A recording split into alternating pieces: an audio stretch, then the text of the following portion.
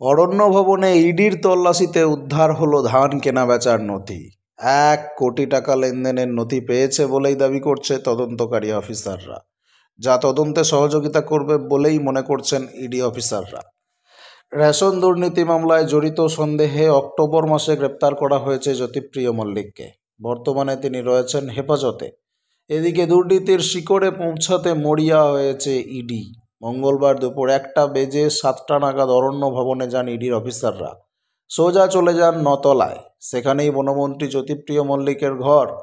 বনমন্ত্রীর ঘরে চলে তল্লাশি।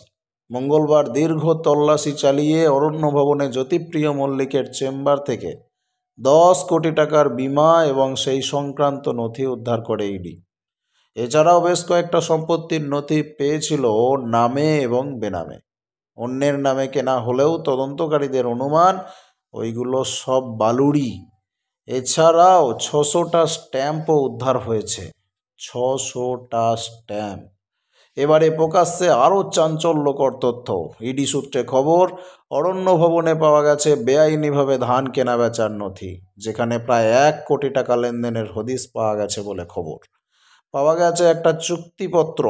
জানা গেছে এই ধান কেনা বেচার সঙ্গে যোগ মিলেছে বাকি বুডেরও উদ্ধার হওয়া এই নথির সূত্র ধরেই রেশন দুর্নীতির আরও একাধিক তথ্য মিলতে পারে বলে মনে করছে তদন্তকারী অফিসাররা।